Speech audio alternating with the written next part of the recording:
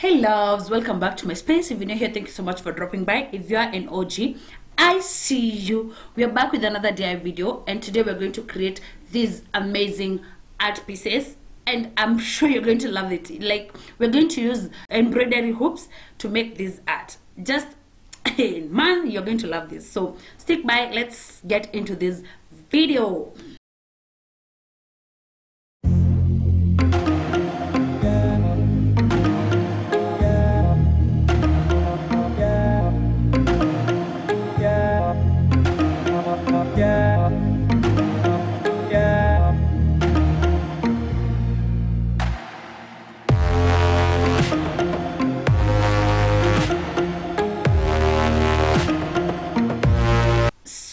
Video as i said you're going to use um, hoops these hoops are embroidered hoops and you're also going to use uh, scrap fabrics these are scrap fabrics because you know what these fabrics are not full they are those pieces that are left and you're going to use these African print, yeah. You can go with any print, you can go with any texture, you can go with any print color. You know, do you feel me? Like you can use any fabric you have. If you have jeans, if you have corduroy, if you have khaki, like any piece depending with how you want your house to look. But for me i wanted to have this. So what you're going to do these hoops are, are two are always two.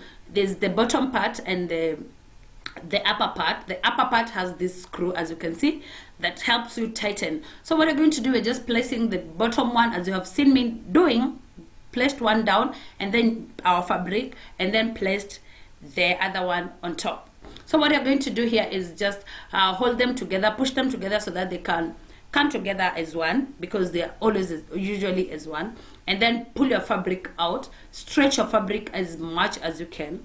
Stretch it because you want to have um, a very smooth uh, surface and everything. And as you do, as you stretch, you keep on tightening this screw because you want it tight you want it tight yeah so keep on uh, adjusting the screw as you adjust your fabric because uh, as I said you have to pull your fabric outwards to make so that we can have a very neat circle at the top where my my palm is lying. And yeah this this as you can see this is the best this is a very easy diy to do a very uh, artistic way to decorate your house because look at that. Look at that. Now as i said you have two pieces. The one the inner one this is what i'm i was speaking i was talking about. There are always two. There's that one that goes inside and the the other one that is always outside. The outer one is bigger is larger small, slightly larger than the inner inner one. So it, but when you're putting them together they have to come together as one yeah? So this is what you're doing. Once you have done this you'll realize they are now together but your fabric has stretched. And if you gonga it inside if you gonga the top you'll have to feel like you know you see that sound that the drum makes? When the fabric is tight you you gonga the top you'll have to feel that sound the volume the sound that a dry drum makes because yeah it's already tight. Keep tightening this because i i realized the screw was too tight for me was too what sliding so i decided to hold with the fabric. If you have uh, cloth uh, gloves you can use them to to make it easier. And once you're done at this point imagine you're done. We're just now pulling and pulling and pulling until you feel like now this is what you want. The surface area is smooth and flat and that's what you want. Once you're done you turn it upside down so the the, uh, the other part which has a very very visible um what um ring or hoop is where you're going to cut. We're going to cut out this excess um, fabric that you have. And as, as I was doing this I realized it was pulling because the outer one was still not as tight. So I had to make sure I tighten it up. If you're you're doing this DIY with me ensure that to skuma skuma kabisa tighten it as much as you can so that it doesn't pull and once you're done you're going to cut all the excess part you know uh, these uh, fabrics they are for you to achieve you just have to cut to cut them in um, square and then as I said, you put your fabric and tighten it and cut the edges, you know? Like that. You can have different prints and on different walls or um, just change, just so that they're, they're easy to change. If you have like a few of these or uh, like maybe four to five of them you can change them according to how your house look. You can look for colors and prints that go with your wall. And this is the easiest way of decorating those stubborn walls you know.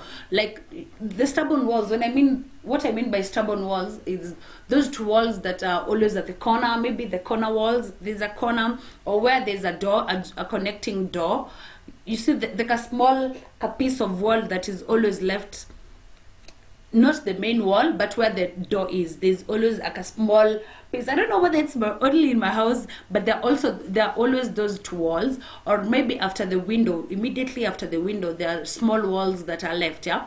It's very small spaces and very difficult to decorate by the way. I find those spaces super super difficult to decorate. And i realized i needed one for my a very small um, wall that was bothering me. It kept bothering me because it was empty. But that doesn't mean that you can only only use it on such walls. You can use these on um your what? What are they called? Walkway? Yeah you just just use them on your walkway or if you have staircase if your house is um uh, what? Upstairs you can use you can decorate your staircase with this. That wall that is next to your staircase or you know what I mean. Do you feel me? Instead of it being empty, you can use this on that wall. Also, you can use this on your dining room where you have super empty walls and you don't want to use um, other frames. I find these frames super, super easy to use uh, and very cute and unique compared to the traditional squared or rectangular uh, what frames that we always use. If you haven't watched my previous videos you can go and see how we created those frames yeah? Those traditional ones. Or you can also buy thrift them yeah? So if you don't want if you just have to you want to have a very unique wall and you don't want to use those frames you can always go for these hoops. I love these hoops because they're easy to do they're easy to decorate with yeah? So after cutting your edge ensure that th this part is a struggle for me because i felt like my scissors were not doing what they're supposed to do yeah? My scissors are not giving it. So but anyway we move on regardless. So what i'm i want to advise you is make sure that you have very sharp small scissors. Don't go in with the bigger scissors so that you don't damage the fabric. At this point i have this uh, um, different uh, hoop.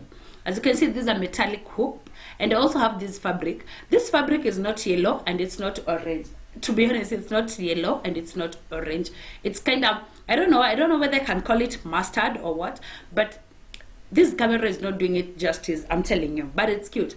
I wanted to see to see. I have. I wanted to break the monotony of having the African print on that kawal, and I also wanted this. I really, really wanted these white uh, butterflies. That's why you're trying. You're seeing me trying to measure which part where will it rest vizuri. Yeah. So I really wanted to have this as a mixture. As I said, you can use different colors, different textures, depending on your the theme of your house. Yeah.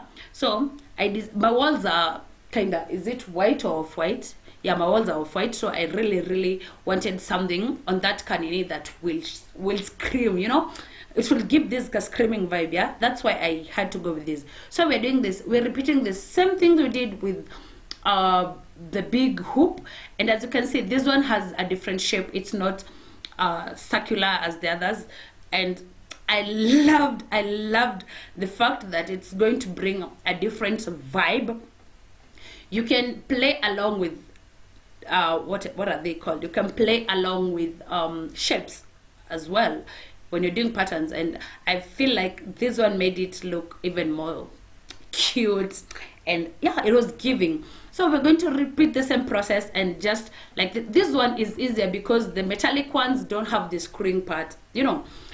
And as i said you don't need to have just you don't need to have these fabrics. You can also use a white a white fabric and then stitch. If you know how to stitch embroidery whatever stitches you know how they're made you can do that with this yeah? So if you you can stitch you can also draw on it and then just draw whether you're going to use marker pens or ink just go use your creativity go wild with this create. So the best thing is that once you put that hoop and it tightens if you're having a, a plain canvas you can draw at with a lot of ease yeah? With a lot of ease because it's the canvas has been stretched for you you know? The hoop helps you stretch the canvas. It's easy to to use that yeah? So don't be afraid. Just go go in for everything. Like for me i felt like this one was giving and the fact that it broke the the the what? The monotony of having uh, the african print alone in the house it turned out super cute. Super cute. Also the fact that i have different sizes as you can see this one was like a small one and i love the small one because these small ones you can you can mix with other you can do other other prints in the house or other art work and then place these small ones. These small ones are very easy to move because they don't take a lot of space. So if you and then the way you decorate them you can play the way you you plan your wall like how you're going to put them on your walls is it's going to be determined by the sizes because you cannot have like four five of them. If you want to have whole wall to have um, hoop art embroidery hoop art you cannot go in with large ones. They won't look so many of the large ones they won't look so good. So you just have to play with. Have a large one a small one large large large small small. Like mix them up. Different designs different angles you know. Yes so this is the diy we're doing. At this point i know i've talked too much but as you can tell the vibe is the the art is giving. It's giving. This is the most simplest way to decorate your house because you'll not need to go an extra mile. You just need hoop and fabric and that's it. Hoop that's the sound i was telling you. You see like that's how you'll tell whether it's th- that canini our canvas is tight. And at this point we are done we are done. You just cut the excess and you're done at this point. Like our diy is done. Now it's time for you to play with it along with it. Just know how you're going to place them on the wall. I'll advise you when you're these ones you're just going to hook them somewhere. And if you're going to hook them on your hall wall hey halls jesus christ. If you're going to just look how cute they look. See see how cute they look. I'm going to make sure they yeah now I'm, I'm thinking of how i'm going to plan them. I'm planning of how i'm going to place them on my wall. But as i was saying i'll advise you when you're doing this or any other art frame frame art don't use the nails that we use the the normal nails yeah? So i'm going to use screws. You know those um screws that they are they're nails but they they have those screw teeth. What are they called?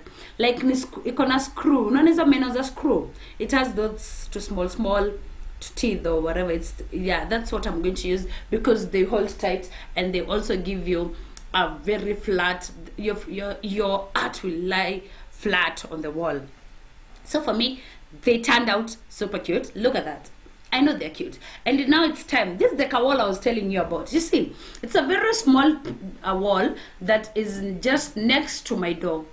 That small part it really really bothers me and i felt like i needed something to do i needed to do something. These are the screws i'm telling you. I didn't use the nails steel nails or something. I used screws. And then i decided to panga them the way oh just look at that.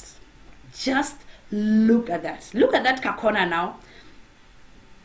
Look at that corner. It gave this corner an entire vibe and I loved how it turned out. Thank you so much for watching. I hope to this point you're super excited, you've learned something, and you're going to try out this.